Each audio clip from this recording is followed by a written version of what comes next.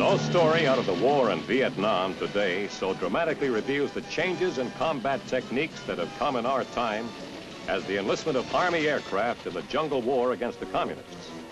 These helicopters and fixed-wing aircraft, some of them manned by Vietnamese aviators trained by American soldiers, some piloted by Americans themselves, help carry the battle to the hidden enemy.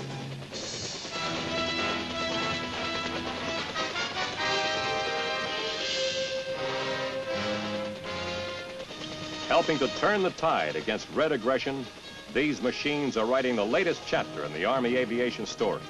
A constantly growing story, which already has given the ground forces of the United States a bold new dimension of mobility with wings at the treetops.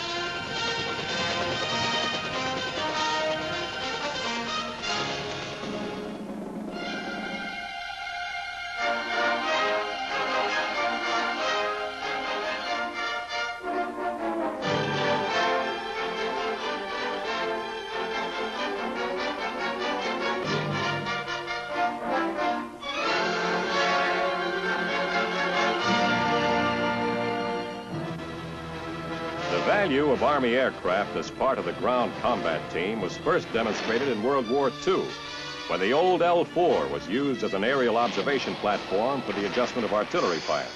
As a result, the accuracy of that fire was steadily and substantially improved, and the concept of Army aviation was born.